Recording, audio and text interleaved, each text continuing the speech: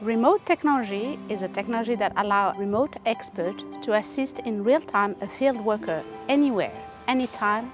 All you need is an internet connection. That's it. So instead of calling the expert and trying to get their assistance over the phone, or instead of flying in the expert and that costs a lot to remote operation, you click a button and you have instant communication with your specialist.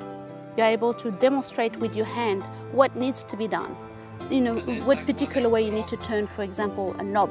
Can you please use your touch to show me the side of the machine? There should be three connectors there. Can you reach it with the touch? I need you to disconnect the leftmost connector there. And uh, can you put it uh, on this one? Okay, yes.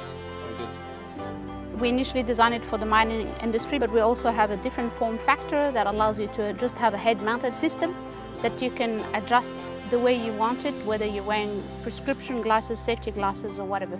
The worker is seeing the hand gesture of the expert, but also the expert can uh, show uh, some technical uh, documents that are relevant to the workspace and uh, do annotation on top of those documents.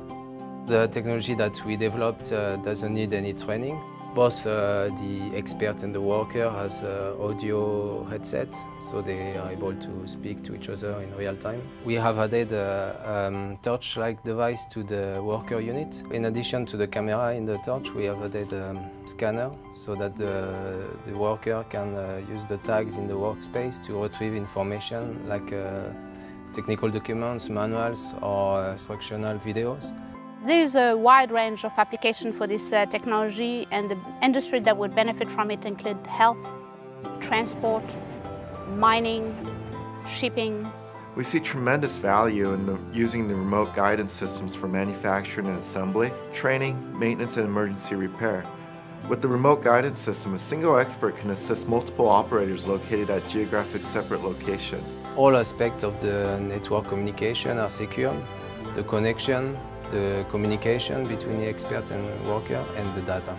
CSIRO has customized the systems to our needs, enabling us to view technical drawings and record the interaction between the expert and the operator. It's important to have this recording uh, feature so that uh, the field worker, after being assisted by a specialist, can revisit the interaction that they had with the specialist. Uh, second of all, it's important for the specialist because then they have a record of what has taken place. Instead of flying in the expert and that costs a lot to remote operation, you have that expert when you need it, real time. It's like having that specialist with you in the room in front of the machine.